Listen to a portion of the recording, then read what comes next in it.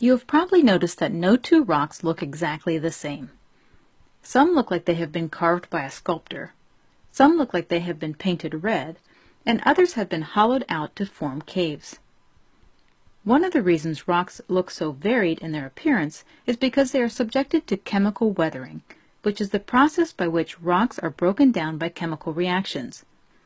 In this lesson, you will learn about the different types of chemical weathering and how exposure to things such as water, oxygen, carbon dioxide, and acids can alter the minerals found in rocks.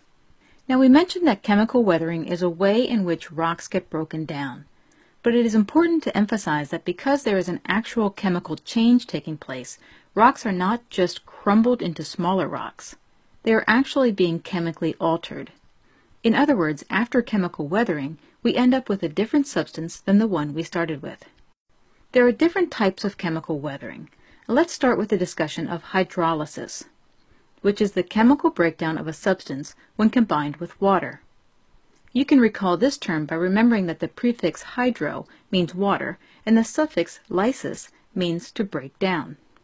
With chemical weathering of rock, we see a chemical reaction happening between the minerals found in the rock and rainwater. The most common example of hydrolysis is feldspar, which can be found in granite changing to clay. When it rains, water seeps down into the ground and comes in contact with granite rocks. The feldspar crystals within the granite react with the water and are chemically altered to form clay minerals, which weaken the rock. An easy way to remember hydrolysis is to think of it as the same process you go through each morning when you make a cup of coffee. When the water you add to your coffee maker heats up, it filters down through the coffee grains. The water chemically reacts with the coffee grains giving you a chemically different substance called coffee. Another type of chemical weathering is oxidation. Oxidation is a reaction of a substance with oxygen. You are probably familiar with oxidation because it is a process that causes rust. So just like your car turns to rust through oxidation, rocks can get rusty if they contain iron. You may have noticed that rusted metal on your car is somewhat fragile. You could even poke your finger through a rust patch if it's big enough. This is because when iron reacts with oxygen, it forms iron oxide, which is not very strong. So when a rock gets oxidized, it is weakened and crumbles easily, allowing the rock to break down.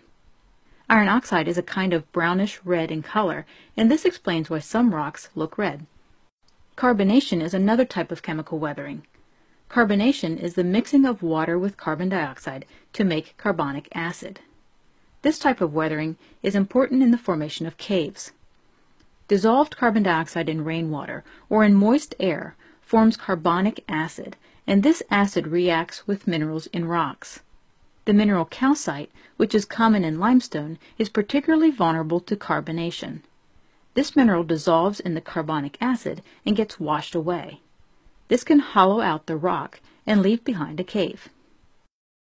Another type of chemical weathering involves lichens. Lichens are a combination of fungi and algae and grow on rocks and produce acids that break down the minerals within the rocks. When water mixes with the lichens, they produce a weak acid. This is a very slow process because lichens are slow growing and the acid they produce is very weak. However, this is a common type of chemical weathering near rivers and streams. So we see that lichens break down rock by producing acid, and we see a similar phenomenon with acid rain. The EPA defines acid rain as rain that has been made acidic by certain pollutants in the air. When pollutants such as sulfur dioxide, carbon dioxide, and nitrogen oxide are produced by activities such as burning fossil fuels, these pollutants are put into the air where they mix with moisture. This process produces acids such as sulfuric acid, carbonic acid, and nitric acid, which falls to the ground as acid rain and chemically weathers rocks. Let's review. Chemical weathering is the process by which rocks are broken down by chemical reactions. There are different types of chemical weathering. Hydrolysis is the chemical breakdown of a substance when combined with water. The most common example of hydrolysis is feldspar in granite rocks changing to clay.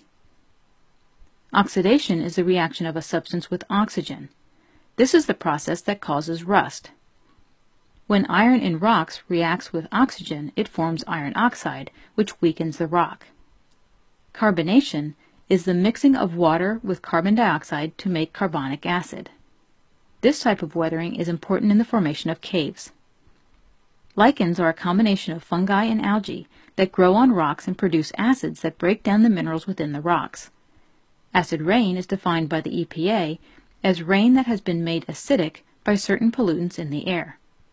Acid rain falls to the earth and chemically weathers rocks.